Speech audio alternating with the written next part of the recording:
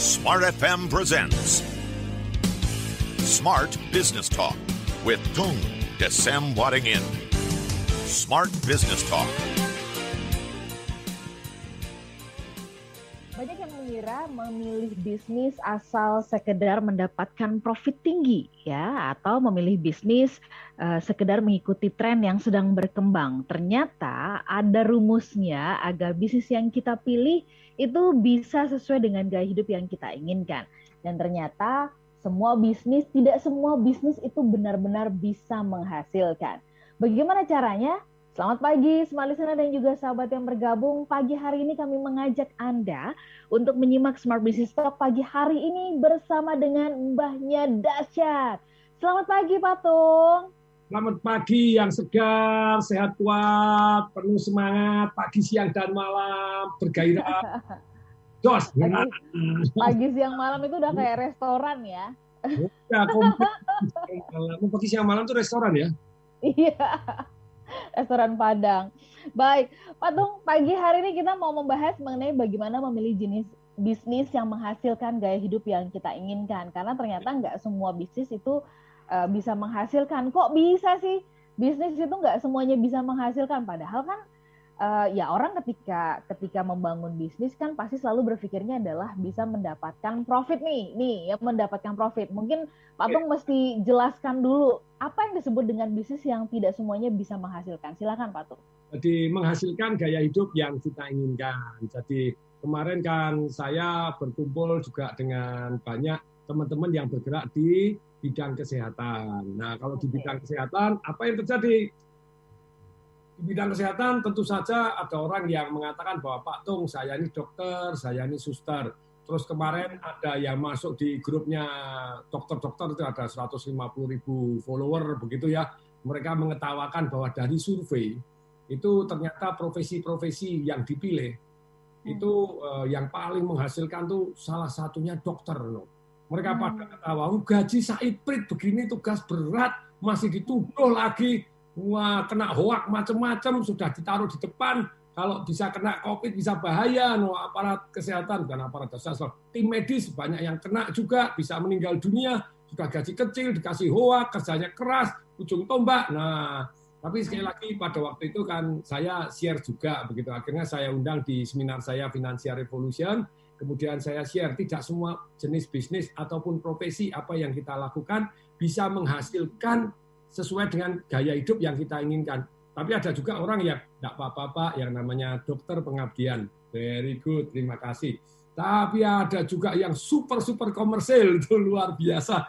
Dahsyat juga okay. ada. Jadi lah terus jalan tengahnya bagaimana dokter kok komersil gitu mau kaya jangan jadi dokter itu kan ada yang ada yang ada yang mempunyai pendapat seperti itulah. Dari dari saya sendiri itu mempunyai pemikiran yang berbeda. Bisa loh Anda tidak komersil dalam arti istilahnya orang yang miskin Anda tetap layani tapi yang kaya juga dicas mahal jadi kelemahan kita dalam ilmu berpikir yang saya share sering bahwa otak kita otak mamalia kita itu kelemahannya apa sih? Nomor satu, Anda pilihannya cuma terbatas, hanya A atau B. Atau B. okay. Saya ngecas mahal berarti saya komersil, yang miskin tidak saya layani. Tapi ada juga yang mahal ya ya kita cas mahal. Tapi yang istilahnya yang miskin ya kita gratiskan. Bahkan sebelum saya share ilmu tentang bagaimana memilih jenis bisnis ini, nomor satu adalah mindset kita terlebih dahulu perlu diluruskan. Diluruskan dulu, oke. Okay. Oke. Okay boleh diomong ada yang mendukung kita, ada yang tidak mendukung. Jadi percuma saya ajarin apa pun, ternyata mereka kalau tidak mendukung. Betul. Jadi semua harus diawali dari mindset ya, karena kalau kita udah nggak setuju dari awal, patung mau menjelaskan dari A to Z begitu. Tapi kalau mindsetnya tetap mengatakan enggak, ya percuma gitu. Itu uh, akan buang-buang waktu begitu ya patung. Betul sekali. Jadi selama cara berpikir kita, pola berpikirnya belum mendukung kita untuk menjadi kaya, Misalnya kayak tadi, saya dokter kok jadi kaya. Ya saya hmm. juga kadang gemes ada dokter-dokter yang orang sakit uh, kena hmm. COVID uh, tidak baru OTG tanpa gejala tapi tetap dikasih atemeran oh ya karena satu suntik 14 juta langsung kasih genjot gamaras no gamarasnya 300 uh, juta no terus kemudian ya ya boleh itu untuk pencegahan untuk apa orang kaya kalau nggak apa-apa boleh Tapi ya apa ya bener toh gitu loh ya. Aktemra belum ada inflamasi, belum ada gini ya mm, uh, mm, padahal Gamaras di luar juga atau rumah sakit tertentu 70 juta, yang di sini 300 juta, no ya ya jadi jadi ada yang memang komersil seperti itu tidak menyenangkan. Ada yang sangat menyenangkan itu di Bethesda di Jogja gitu ya. Jadi jadi istilahnya tolong dulu urus urusan kemudian. jadi maksudnya tolong dulu urusan kemudian itu jadi plang. Jadi kamu sakit itu masa bodoh dia enggak ditanyai dulu nomor rekeningnya berapa, transfer berapa, mau keluar, tolong dulu pokoknya. Wah itu itu luar biasa juga. Sekarang sebetulnya jalan tengahnya bagaimana sih ini yang menjadi menjadi sangat-sangat seru. Boleh nggak sih saya jadi dokter kaya? Boleh. Terus kemudian punya, iya, iya. Banyak yang mempunyai persepsi bahwa kalau saya dokter itu harus miskin. Ya enggak, no. Dan, ya. Tapi kalau miskin terus berkeluh kesah, kan sedih juga gitu. Tapi kaya dengan cara yang benar, bukan yang tadi, yang enggak perlu, enggak perlu, terus dihajar terus, no, ya boleh saja, no, silakan, ada. Orang kaya kalau ini boleh ke.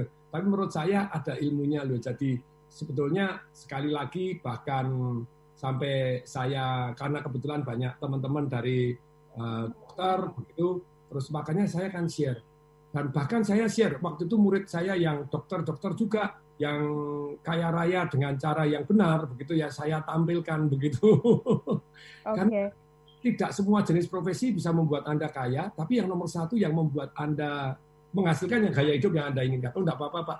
Saya memang panggilannya sebagai dokter, saya miskin, enggak apa-apa. Oke. Okay. Ya sudah jangan ribut kalau gajinya kecil, jadinya begini jangan ribut. Ya, gitu.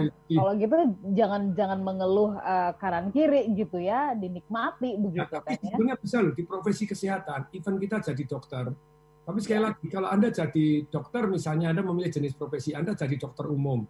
Apalagi ya pakai gajian di repot. Gajinya cuma berapa juta doang dua juta berapa yang kemarin grup dokter ini. Tapi kalau anda memilih profesinya misalnya oh ya saya akan nabung terus kemudian saya jadi dokter bedah otak. Nah itu misalnya. Okay. ya kan?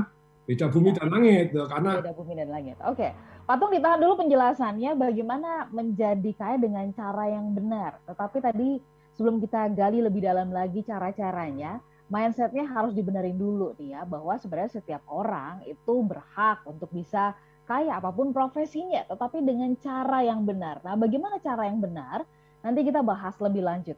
Topik pagi hari ini kita membahas mengenai bagaimana memilih jenis bisnis yang menghasilkan gaya hidup yang kita inginkan. Kami jeda sesaat tetap bersama dengan kami. Smart Business Talk, Smart Business Talk with Tung Desem Wadingin.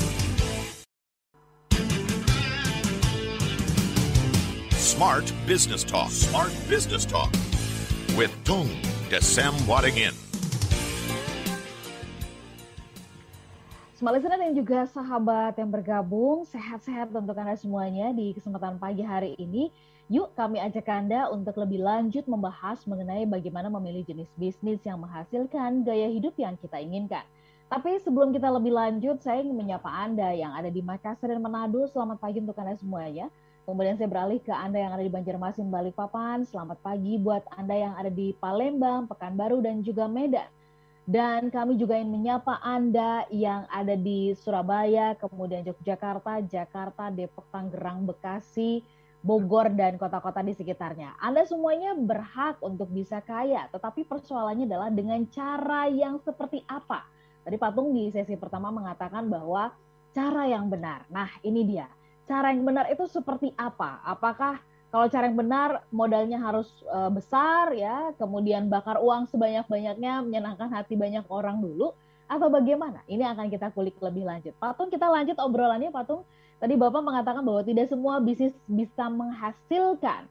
Nah, ini uh, kita diajak untuk punya uh, mindset yang benar dulu supaya nanti pada saat memilih bisnis ini bisa sesuai dengan uh, gaya hidup yang kita inginkan. Monggo kita lanjut nih Patung. Seperti ya. apa rumusnya? Silahkan.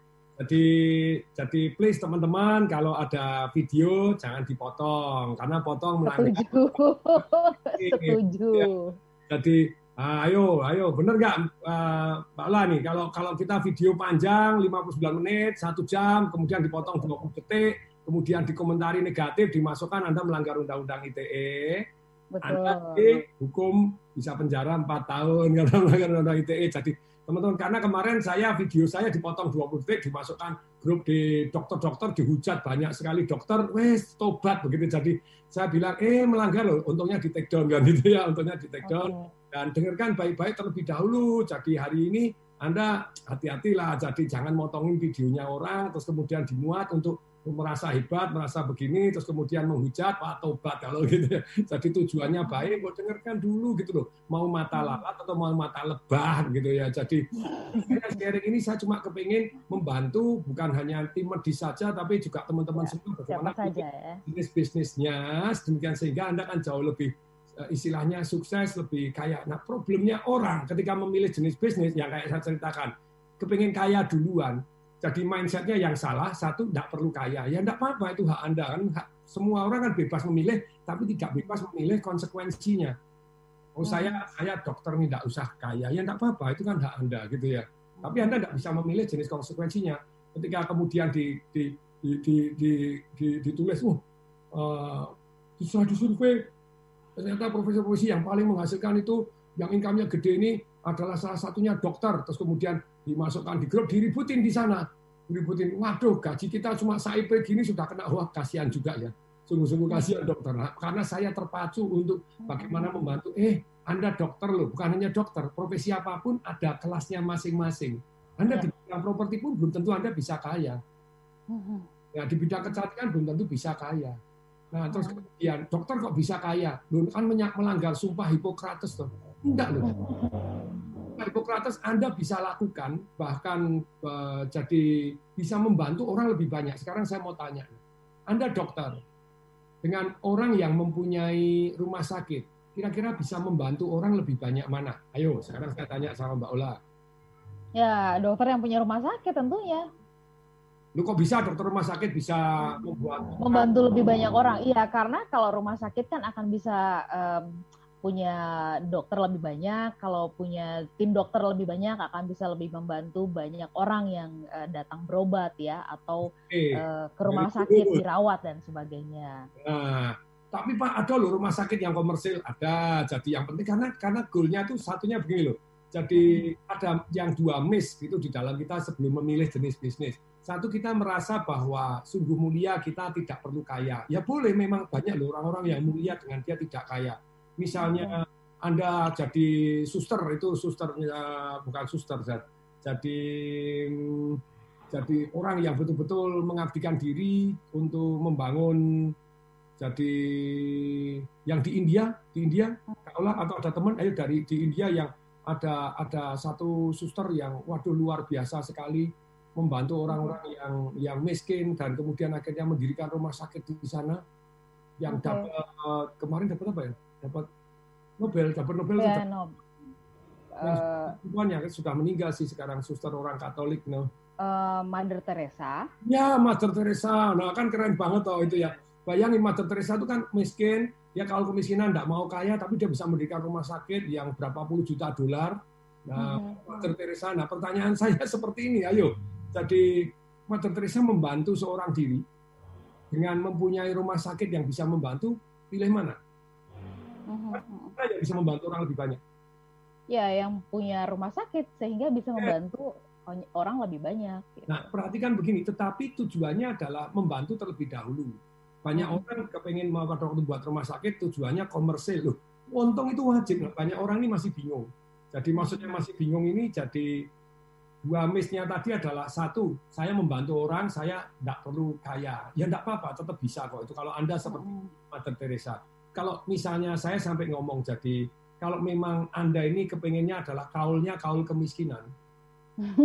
Yang hidup yang ada ini kan lo ada loh. Kan ada kemiskinan nggak usah jadi kaul itu nggak usah pakai rumus aja udah nggak melakukan apa-apa miskin. Boleh tapi sekali lagi anda miskin sama kaya kalau secara bisa loh miskin membantu orang lebih banyak bisa seperti Mother Teresa tuh. Nah, tapi pertanyaannya begini jadi sebelum memilih ini kita harus jelas terlebih dahulu. Misnya itu ada dua, luputnya itu ada dua. Satu, kita merasa tidak perlu kaya. Tidak apa-apa, tetap bisa, itu pilihan. Dan Anda bisa membantu orang yang banyak, seperti Mother Teresa tadi. gitu ya. Tapi yang kedua, pertanyaan saya, Wadah yang yang miss itu apa? Wah saya harus kaya. Nah ini kesalahannya. Anda memilih jenis bisnis, nomor satu tujuannya kaya duluan. Loh Pak Tung, itu salah dong. Um, iya, ketika Anda kaya itu menjadi nomor satu, Anda sering kali membuat diri jadi kaya cara tidak halal. Oh, okay. Mempersulit orang lain terlebih dahulu dengan cara memperkaya diri sendiri, dengan cara korupsi, dengan cara yang tidak pada tempatnya. Nah, hmm. terus mestinya harusnya bagaimana? Yang nomor satu tadi obatnya ya punya pilihan bahwa kalau kita kaya tentu saja kita bisa kayak tadi misalnya Mother Teresa dia bisa bantu orang banyak sekali karena dia tahu kemiskinan tapi dia pertanyaannya waktu dia bangun rumah sakit dia cuma mengeluarkan duit atau di kantong saya punya dua dolar saya mau bangun rumah sakit di India yang untuk menampung orang-orang miskin siapa yang mau nyumbang oh satu orang nyumbang satu juta dolar dua juta dolar satu organisasi ya, pertanyaan yang nyumbang itu yang punya duit nggak hmm, hmm, hmm, yang punya duit juga no. Lah kalau nggak punya duit terus gimana jadi rumah sakitnya? Repot juga. Semua miskin makan aja susah terus bangun rumah sakit ya berat juga. Bisa sih ya, Pak, royong duit kecil-kecil tapi jutaan orang, puluhan juta orang bisa. Tapi take a longer time untuk mengumpulkan dan menginspirasi jutaan orang. Nah sekarang saya mau tanya lagi. Yang kedua yang miss tadi toh, wah kita harus kaya dulu organisasi. Nah kesalahannya ini harusnya diobati dengan cara apa? Bahwa nomor satu kalau kita membuat bisnis, kita harus membuat nilai tambah yang bermanfaat untuk orang lain. Jadi kita harus bawa manfaat dulu. Sebenarnya uang itu alat tukar nilai tambah kita. Nah kalau kita pengen banyak uang, tentu saja kita harus fokus kepada yang semakin banyak kita membuat nilai tambah dan membuat manfaat kepada banyak orang. Kalau perorangan misalnya kayak tadi saya bilang, balik lagi bahwa eh, dokter biasa dengan dokter bedah otak, kira-kira ya, lebih ya tentu nah. ya tentu akan jauh lebih mahal uh, konsultasi kepada dokter bedah otak. Yes dan pertanyaannya dokter biasa bisa nggak bedah otak? Nggak bisa sebetulnya bisa cuma mungkin ngembalinya oh iya otak gitu ya karena bedahnya yang, bisa bedahnya bisa tapi mengembalikan ngeri juga bisa, ya. Dokter, dokter biasa kalau kepepet juga dia pasti punya basic-basic ilmunya, beda. Tapi dengan ya, ya, ya, ya. lebih menang dokter bedah otak. Nah, ini membuat nilai tambah yang bermanfaat untuk orang lain. Tapi eh, dokter bedah otak yang super super komersil gitu ya. Oh saya begini yang miskin ditolak. Nah itu tidak benar. Karena tujuannya sumpahnya Hippocrates kan begini. Jadi dua tantangan ini, yang satu merasa miskin aja boleh ya enggak apa-apa itu panggilan hati.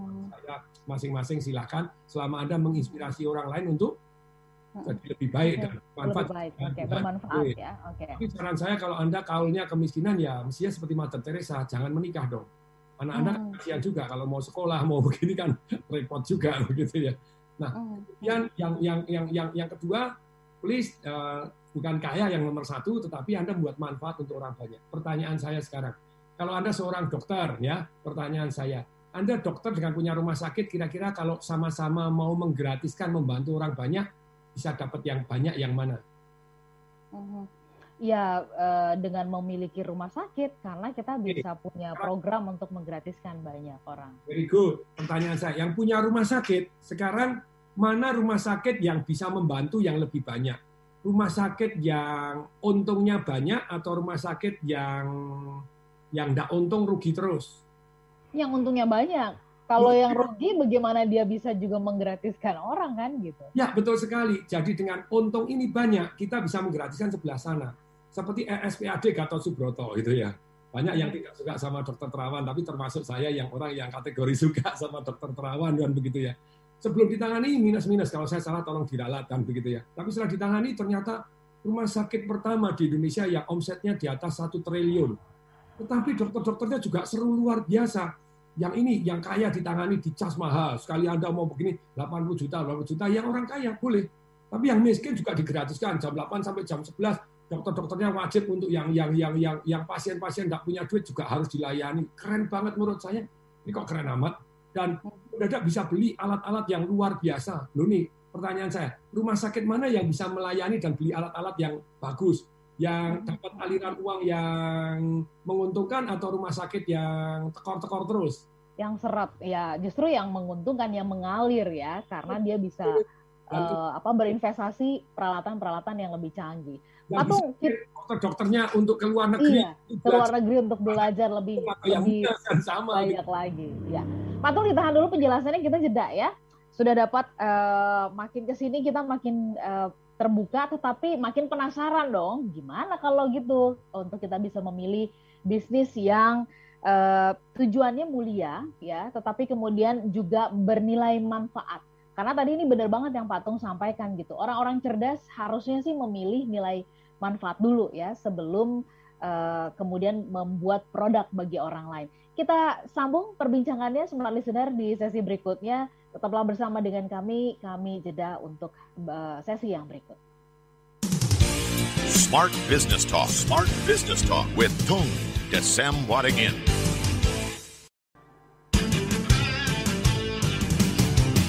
Smart Business Talk, Smart Business Talk with Tung Desem Wadingin. Listener dan juga sahabat yang bergabung, Anda yang menyimak kami melalui YouTube channel Smart FM, Terima kasih Anda bersama-sama dengan kami, Anda yang juga menyimak kami melalui FM Radio barangkali dalam perjalanan di mobil, hati-hati dalam perjalanan ya. Dan Smart Listener pagi hari ini bersama dengan Pak Tung kami membahas mengenai bagaimana memilih jenis bisnis yang menghasilkan gaya hidup yang kita inginkan. Supaya bisa tuntas dapat konklusinya seperti apa, nggak nggak uh, menyimpulkan di ujung saja atau menyimpulkan di tengah-tengah saja karena itu bahaya banget So kami mengajak Anda untuk kembali menyimak apa yang disampaikan oleh Patung ya, bagaimana kita bisa memilih jenis bisnis yang menghasilkan gaya hidup yang kita inginkan. Tadi di sesi sebelumnya, Smart Listener, Patung mengatakan atau menjelaskan kepada kita dua miss yang sering kali menjadi jebakan Batman ya di dalam kita berbisnis atau juga kita membangun karir kita. Yang pertama adalah uh, pemikiran bahwa sungguh mulia kalau saya uh, ya nggak kaya begitu ya, miskin dan dan sebagainya. Uh, Oke, okay, uh, tetapi tadi Pak Tung mengingatkan di belakang ya jangan ngedumel, jangan kemudian melakukan hal-hal yang tidak uh, baik justru begitu ya. Tapi dari awal lakukanlah sesuatu yang tujuannya memang membantu, bukan kaya yang jadi nomor satu.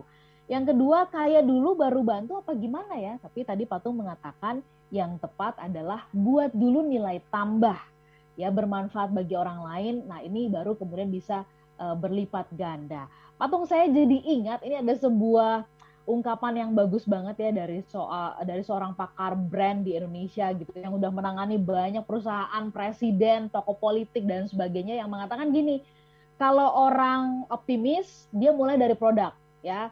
Kalau orang pesimis mulai dari masalah. Nah, kalau orang yang cerdas itu mulai dengan memberikan nilai tambah, value. Berarti sebenarnya yang tadi Patung katakan kepada kita itu ya jadilah orang cerdas gitu ya dengan uh, perubahan mindset tadi. Begitu ya Patung? Ya, betul sekali. Jadi pagi hari ini bagaimana sih kita menjadi orang yang lebih cerdas dalam memilih jenis bisnis yang kita akan tekunin kan begitu ya. Mhm, betul. Bisnis itu scalable dan tidak semua bisnis itu bisa menghasilkan gaya hidup yang kita inginkan. Bahas ya. Jadi, jadi sebetulnya ini kan ada tujuh kan begitu ya nomor hmm. satu mindsetnya harus benar dulu gitu. Kalau hmm. benar itu diajarin apa gaya hidup ya pokoknya saya gaya hidupnya segini pak miskin enggak popo ya enggak apa-apa memang sendiri sendiri gitu loh. Siapa yang bilang anda miskin? Masalah. Ya masalah kalau ketika anda orang tua anda sakit anda tidak bisa bayarin. Akan masalah ketika anak anda mau sekolah anda tidak mampu bayarin. Nah itu akan jadi masalah. Tapi sebelumnya tidak akan timbul masalah karena baik-baik saja karena memang masalahnya belum timbul gitu ya. Ya oke. okay. Ya, ya, ya, ya, oke. Okay. Yang, yang pertama mindsetnya harus pas terlebih dahulu bahwa oke okay, boleh dong saya mempunyai gaya hidup sini. Boleh kok Anda gaya hidup sederhana juga tidak masalah. Tetapi yang paling penting secara kekuatan keuangan Anda sudah mapan sehingga ketika dibutuhkan, sekali lagi yang saya bilang, orang sukses itu antisipasi, bukan bereaksi. Ketika dibutuhkan, Anda siap secara keuangan.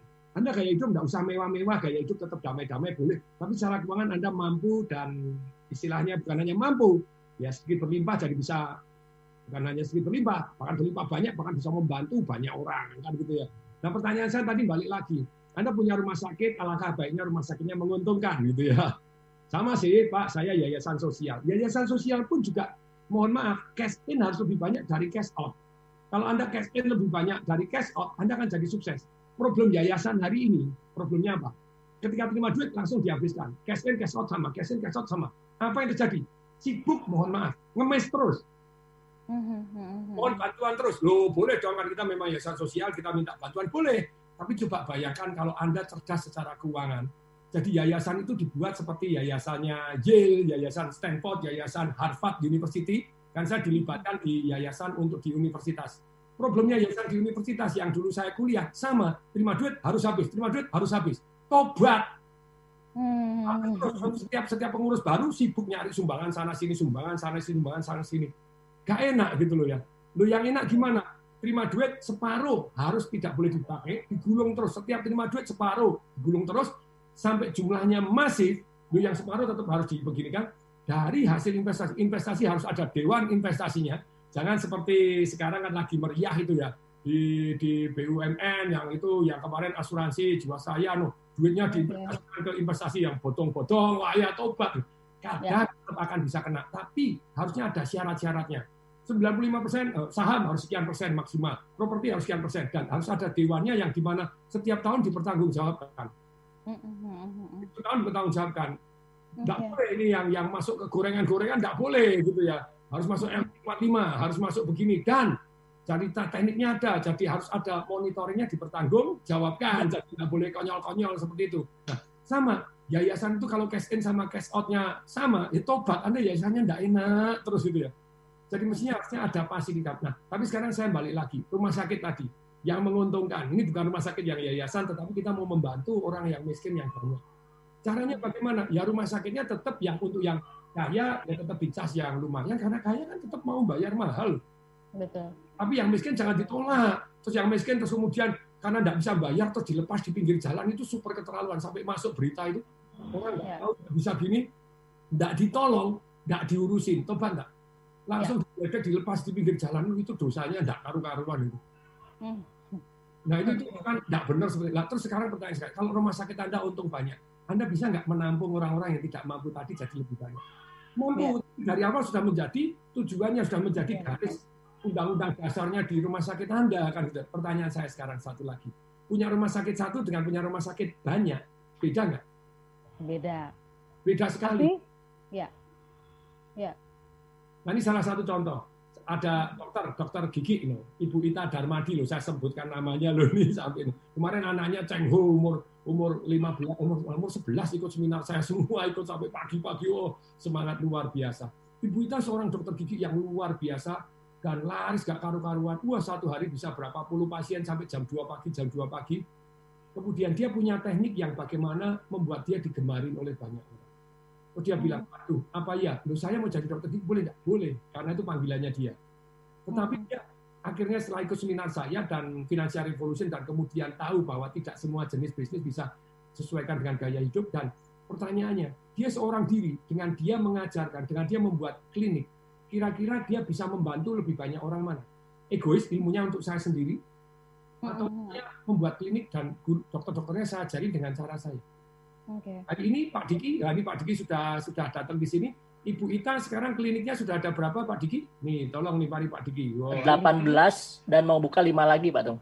18 oh. sudah mau buka lima lagi. Keren nggak? Bocoran kliniknya di mana ya? Saya mau periksa gigi. Ayo kliniknya di mana aja? Oh, dan itu luar Pak Diki, kliniknya namanya apa, di mana? Oh, ini kisah nyata kok gitu loh ya. Jadi pertanyaan saya, Anda kepengen, saya kan ingin membantu orang banyak. Membantu mana? Anda jadi dokter gigi seorang diri atau punya 18 klinik, berapa ratus dokter, 200 atau berapa dokter, hmm. pilih mana? Hmm. Ya kalau taruh kalau satu klinik misalkan memiliki lima orang dokter, lima kali 18 saja sudah uh, ada sekitar um, ya 90-an dokter kan dok uh, apa? Uh, patung ribu orang. Betul. Berapa ribu orang yang dibantu dengan dia. Terus kemudian orang yang tidak punya duit anda bisa bantu lebih banyak mana? Anda seorang diri anda hmm. gratiskan semua atau kayak yang model yang di kalau saya salah tolong saudara tuh RSPAD begitu ya jam sekian jam sekian itu untuk orang yang miskin. Keren banget jam sekian anda kaya yang antri pagi lebih bagus nanti jam sekian saya ngurusin orang yang miskin. Nah hmm. dengan alokasi waktu gitu ya jadi iya. luar biasa jadi ya. tentu saja nih teman-teman, nih Pak Diki tolong ditampilkan di layar ya, saya tampilkan di layar. Anda di, di, di sebagai di properti pun, saya akan cerita di properti, di salon dan di satu lagi yang namanya di tim medis, mana jenis profesi yang bisa menghasilkan gaya hidup yang Anda inginkan dan bisa membantu orang lebih banyak. Tuh, sekarang Ibu Ita jadi dokter bisa membantu ribuan orang, sudah mungkin puluhan ribu orang begitu ya, atau ada seorang diri, pilih seorang diri punya klinik banyak. Dia masih kadang praktek juga, tapi dia bilang sebetulnya Pak Tung saya statusnya itu adalah pembantu umum. Nah ini Ini lihat, seperti ya, saya tunjukkan di layar nih, perhatikan teman-teman. Kalau Anda di properti, tidak semua Anda bisa kaya, perhatikan ini. Nih, Anda jadi tukang semen, satu hari dapat 30 ribu, ya susah kaya gitu ya. Agen, oke, ikut prinsipal, Anda dapat 2% dibagi dua. 2A, Anda seorang agen properti, sabar pelan-pelan Pak Didi. Anda jualan secondary, kalau secondary kan one on one. Kalau Anda jualan secondary one on one, ya Anda susah kaya. Jadi, apalagi secondary yang murah. Anda jualan, nah kan boleh milih toh. Pak Tung, apakah ini asal? Ya kalau Anda secondary pilih yang minimal 10 miliar, tentu saja hasilnya beda daripada Anda jualan secondary yang 200 jutaan. Karena komisinya tetap sama, 2-3 persen kok. Hmm, hmm. Oke, okay, adalah secondary yang mahal. Tapi ada juga ini, lihat 2C ini. Anda ada memilih jenis bisnis itu perhatikan gitu ya. Primary murah, boleh nggak Pak? Boleh, saya jualan RSS Pak. Kayak Pak Diki itu. Nah, Pak Diki, ayo nih jualan RSS juga nih. Pak Diki coba nih, bener nggak Pak Diki jualan RSS? Tapi sekali jual berapa ratus Pak Diki? Ya, 226 Pak. Nah, sekali jual 226. Nah itu kan, walaupun komisinya kecil tapi banyak, boleh. Anda jelas milih. Tidak semua. Mari lanjut lagi misalnya. 2D ini lihat, perhatiin 2D, 2D ini. Uh, primary, mahal dan banyak. Maksudnya jualan misalnya properti yang miliar-miliaran tapi jualannya juga puluhan ratusan. Nah, itu Anda kayaknya lebih banyak sama-sama agen properti. Bidang mana yang Anda agen properti yang berdiri sendiri, oke, dahsyat, Anda. Eh, yang berikutnya, yang keempat, Anda jadi prinsipal. Dapat prinsipal itu Anda punya faktor kali yang banyak, yaitu apa? Anda punya agen-agen yang Anda bantu, sehingga dia bisa sukses, dan Anda dapat komisinya, kan gitu ya. Dapat separuh, ya lumayan sekali. Ya, ini prinsipal. Lanjut, ini Pak Diki. Ini. Yang kelima, jadi koordinator marketing. Anda Anda properti kan tidak semua properti. Anda mau jadi tukang semen juga boleh, gitu ya. Nah, koordinator ini yang yang sama-sama yang penjualan yang koordinator marketing. Nah, Anda dapat komisi lagi dari banyak prinsipal lah, lebih seru lagi. Kemudian yang keenam, kontraktor. Nah, kontraktor mungkin Anda dapat 10 20 persen. Pak, saya dapat 30 persen. Pasti kalau yang dapat 30 persen, oh, saya pasti enggak lah. Tapi dugaan saya kalau ada 30 40 persen, Anda kontraktor, Anda modelnya model Spanyolan. Separuh nyolong gitu ya. Saya gemes sekali kada kontraktor. Saya bangun ruko begitu, waduh, wes tobat, tobat, tobat. Batunya batanya dua jadi satu. Kemudian uh, harusnya disurup dikasih dikasih kasih semen gini enggak langsung dikasih tembok jadi retak-retak enggak karu-karuan. Waduh modelnya model Spanyolan tadi separuh nyolong gitu ya. Wejan itu niatnya pengen kepengin kaya dengan ngadalin orang lain itu enggak enggak really, really nice. Nah kontraktor itu juga alangkah baiknya betul-betul manfaat untuk orang banyak nah ini balik lagi tapi kembali lagi koordinator kontraktor lanjut lagi Pak Diki lanjut nih Kemudian developer, developer Anda ya untungnya berapa developer? Lima kali dari harga tanah, loh kan enak toh. Atau kalau saya keluar modal minimal harus untung 100 persen. Nah ini ya baru jos gitu ya. kalau nggak keluar modal mungkin untungnya tipis-tipis hajar. Kemudian yang kesembilan, nah, master developer. Nah beda sekali. Maksudnya apa sih Pak Tung? Master developer. Nih, misalnya orang punya tanah sekian ribu meter, ah, bukan seribu ribu meter, sekian ribu hektar Mau selesai lu kapan? Selesainya kapan? Sekian ribu hektar. Lebih baik jadi master master developer, developer lain dari mana, dari mana, dari mana diajak rela berbagi. Nah, nah rela berbagi dengan anda rela berbagi, proyeknya lebih selesai lebih cepat. Nah, daripada anda sendirian ya sana sana kerjasama dengan sini, kerjasama di B, kayak uh, eh, BSD kerjasama dengan uh, sini, uh, Singapura kerjasama dengan sini, kerjasama akan jauh lebih cepat begitu ya Pak Tung? Nah, lebih cepat. Nih, sekarang saya mau share nih uh, tentang yang kesehatan ini ya ini uh, dokter nih. Nah, Patung ditahan dulu penjelasannya mengenai kesehatan kita jeda untuk satu sesi yang terakhir ya Patung. Sekali sana. Iya, sudah sesi yang terakhir. Makanya, wah ini ternyata banyak banget nanti akan kita dapatkan.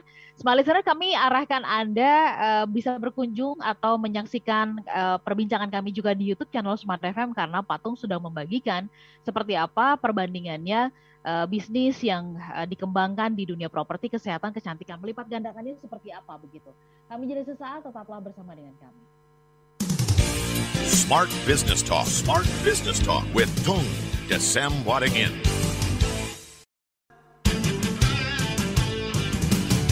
Smart Business Talk. Smart Business Talk with Tung Desem Wadingin. dan juga sahabat yang bergabung, ini satu sesi yang terakhir, padahal kita masih ingin dengarkan banyak banget dari Patung ya. Semoga di kesempatan di satu sesi yang terakhir ini, untuk kesempatan kali ini, bisa uh, merampungkan penjelasan setidaknya kita dapat nih sarinya gitu ya tentang bagaimana uh, memilih jenis bisnis yang menghasilkan gaya hidup yang kita inginkan. Patung kita lanjut tadi penjelasannya yang tadi sempat uh, terpotong sampai di uh, properti dan Patung tadi ingin lanjutkan berkaitan dengan bisnis di dunia kesehatan dan juga kecantikan. Silakan Patung. Yes, oke. Okay. Ini mari kita layarnya kita lanjutkan Pak Diki. Ternyata kita satu jam juga kerasa Pak Diki. Oh, tolong layarnya. Iya. Ini. Oh ini siap ya teman-teman ya. Nih, jadi kalau Anda tenaga kerja, Anda gajian, ya repot. Boleh sih Anda gajian, ya boleh kalau Anda jadi dokter, bedah otak tadi itu kan gaji Anda kan luar biasa besar dari rumah sakit gitu ya. Kemudian nakes gajian plus komisi, wah lebih tinggi lagi. Maksudnya komisi itu sebagai jasa Anda sebagai dokter bedah, dokter dokter apa pun, Anda dapat part of duit. Biasanya rumah sakit ngambil cuma biaya administrasi ya ada 15 ribu, kalau konsultasi misalnya 115, 100-nya untuk Anda ya lumayan. Kemudian berikutnya nakes yang berdiri sendiri, oke okay, 100% dapat ada. Kemudian berikutnya nakes yang one to many, maksudnya one to many itu apa? Jadi anda jadi memberikan itu di Surabaya teman saya itu dokter ahli melangsingkan badan sekali masuk 40 orang lah kalau sekali masuk 40 orang ya jadi luar biasa jadi diajari dulu bagaimana masuk jarum di sini kalau melapar punya punya punya jadi tidak lapar gitu ya. Nah itu satu masuk langsung pasiennya 40 coblosin langsung langsung wah itu keren luar biasa. Terus nakes buka klinik dan apotek. Nah itu tentu saja akan lebih bagus. Buka jaringan klinik dan apotek gitu ya bagus. Buka rumah sakit lebih jos lagi, buka jaringan rumah sakit terus masuk lagi. Anda tenaga kerja tapi masuk ke mana? Punya pabrik obat dan tentu saja beda lagi gitu ya. Nah kemudian di bidang kecantikan, nah ini tidak semua bidang yang Anda pilih, Anda silakan. Anda mau kecantikan, pekerja salon, gajian, boleh. Ikut salon yang ada, tapi bagi asis, setiap motong dapat sekian, lumayan. Yang ketiga, buka praktek sendiri lumayan. Praktek sendiri kan motong seorang diri. Yang keempat mulai buka salon. Yang ketiga jaringan salon. Yang keenam pabrik komestik. Jadi jadi Rudi Hadi Suwarno coba perhatikan. Rudi Hadi Suwarno yang mana?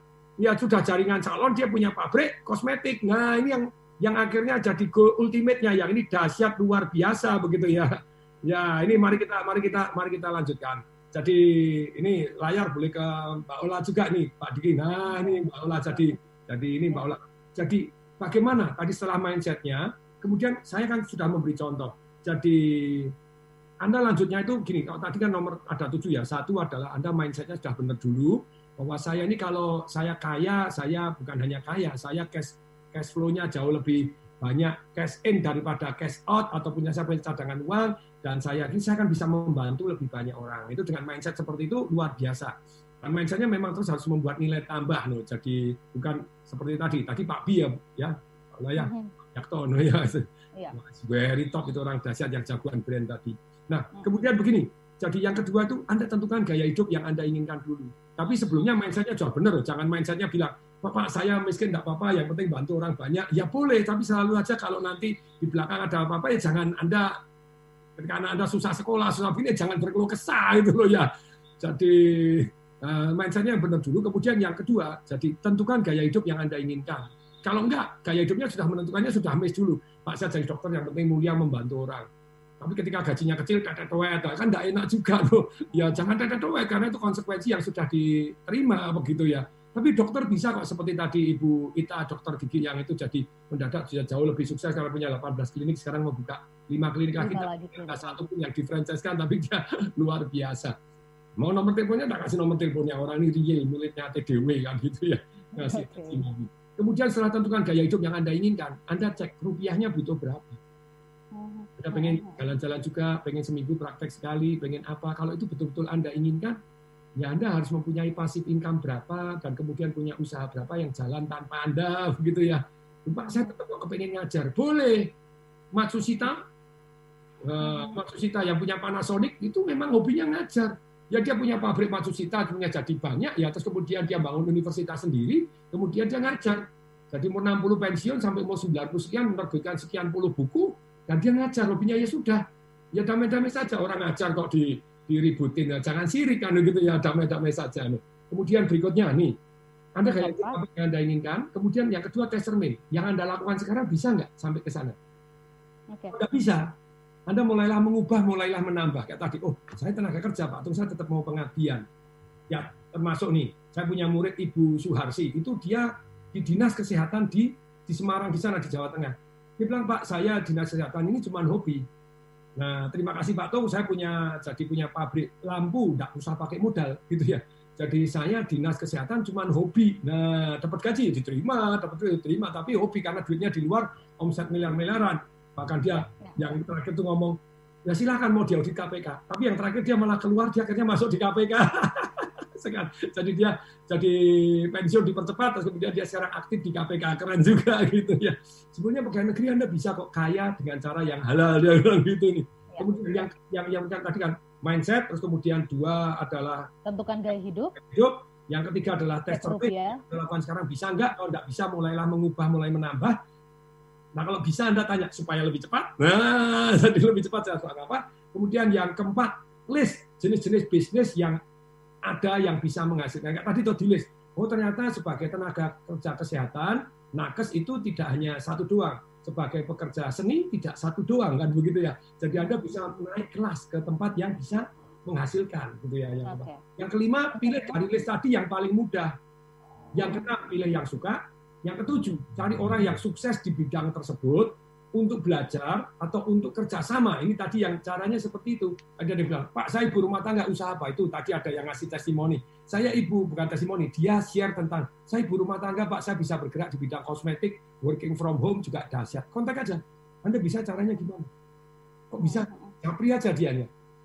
Nah, tapi sekali lagi teman-teman, salah satu jurus yang paling cepat untuk kita berubah setelah Anda memilih jenis bisnis tadi, yang bisa menghasilkan gaya hidup yang Anda inginkan. Berikutnya apa? Cari orang yang sudah sukses di bidang tersebut. Kalau Anda cari orang yang sukses di bidang tersebut, Anda bisa ajak kerjasama, Anda boom. Kemarin saya share di teman-teman di, di grup saya di mantan sama-sama bukan mantan, dan masih ada juga yang di BCA, ada yang share. Jadi resep suksesmu apa? Dua. Yang sayangnya dua ini dilarang di sekolah. Apa itu? Satu nyontek. Saya belajar cari orang-orang yang jauh lebih sukses dari saya dan saya belajar. kita contek pengalaman dia begitu. Orang yang lebih sukses saya belajar dan saya nyontek. Yang kedua apa? Saya kerjasama dengan orang-orang yang sudah sukses di bidang yang saya kepingin sukses. Saya mendirikan toko buku tanpa Pak Johan Budi Safa yang punya yang punya toko buku di Malang itu Togamas ya saya tidak bakalan jadi punya toko buku dan mungkin punya sih tapi lebih repot sekali. Nah, kerjasama ada di Jogja kemudian. Sama di bidang properti saya bergerak sama orang-orang yang sudah sukses di bidang properti. Properti. Kan organizer saya juga bekerja sama dengan yang nah caranya bagaimana supaya orang tadi mau kerjasama dengan Anda? Buat dia win, baru Anda win. Bantulah kepentingannya dia. Ini jurus ke-8. Mau bagaimana belajar dan kerjasama dengan orang-orang yang jauh lebih sukses. Bantu Oke. kepentingan hitungan dulu. Ada yang lulusan UI. Kalau saya tidak digaji 8 juta, saya tidak bakalan kerja. Lah itu urusannya gitu. Boleh nggak? Boleh kalau Anda menghargai diri Anda sendiri pada waktunya. Hari ini saya sama loh. Kalau saya ada orang Pak Tong bantu perusahaan saya, bayar saya miliar-miliaran. Saya masa-masa memang ya mohon maaf sudah sudah masa-masa panen siapa butuh siapa no. Saya Iya. begitu banyak membantu perusahaan dan sukses dahsyat luar biasa. Saya bantu ya. Loh, Pak Tong tidak bantu orang-orang yang UMKM. Saya bantu ikut seminar saya murah-murah meriah. Pak Tong saya nggak punya duit sama sekali boleh ikut nggak? Boleh. Loh itu kan enak toh. Iya. Pak Tong saya bisa nyicil. Boleh loh kan saya bagi. Yang bayar saya mahal ada yang miliar-miliaran, ada yang bisa bayar-bayar dan yang yang minta dibantu mau ikut seminar gratis ya saya kasih izin loh kan enak banget toh. Iya. Jadi dengan demikian ini kita benar-benar tadi itikatnya adalah membuat nilai tambah dan manfaat untuk orang banyak. Nah, ini semoga bermanfaat gitu loh ya ini. Baik, baik, Patung. Oke, itikatnya adalah bagaimana eh, membantu banyak orang dan memberikan nilai tambah yang lebih besar lagi. Smart listener, mari kita siapkan diri kita. Saya juga sedang bersemangat banget, sedang menyusun eh, rencana juga untuk membangun bisnis. Kalau Anda sendiri gimana? Ya pengen dong ya kita bisa memanfaatkan dan memaksimalkan ilmu yang kita miliki untuk lebih banyak lagi berguna bagi banyak orang. Sehat-sehat untuk Anda semuanya, sehat-sehat untuk Patung. Terima kasih pagi hari ini sudah berkenan berbagi bersama dengan kita semuanya. Kita akan jumpa kembali dua pekan dari sekarang. Patung, sehat-sehat dan rekaman ini tersimpan di YouTube channel Smart FM. Anda bisa menyimaknya kembali. Saya Lanur Lija. Dan saya Tom Desemaringin. Kami berdua mengucapkan salam. Dahsyat! That was Smart Business Talk with Tung Desem Wadding In. Brought to you by Smart FM Network.